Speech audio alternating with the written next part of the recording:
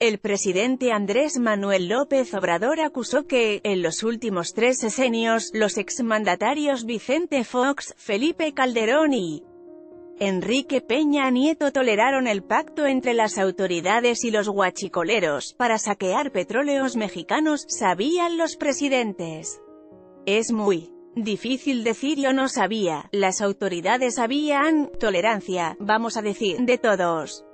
Lo sabían todos, desde Fox quien le siguió, Calderón, todos, reveló durante la conferencia matutina en Palacio Nacional.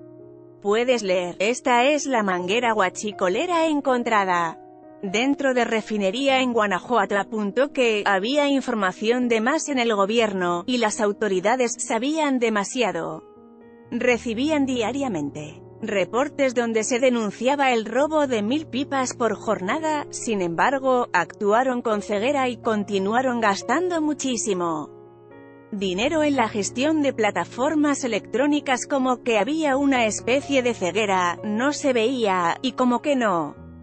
Se ve que se están robando mil pipas diarias, en una especie de tolerancia, algo pactado, que se daba por hecho de tiempo atrás, estoy hablando de tres sesenios durante los dos encuentros que sostuvieron los mandatarios entrante y saliente en la etapa de transición, el expresidente Enrique Peña Nieto no trató el tema con su sucesor y no fue hasta que asumió el cargo, cuando encontró los índices delictivos, mismos que reportaban pérdidas de hasta 60 mil millones de pesos diarios por el robo de hidrocarburos.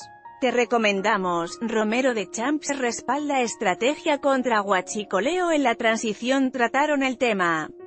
No, no, no, sobre este tema no, pero era evidente que sabían, tan se sabía que el sistema de información lo encontramos establecido respondió López Obrador. El tabasqueño esta mañana presumió que lograron disminuir el robo de pipas de Mila 27. En menos de un mes de haberse activado el plan de combate contra el huachicoleo.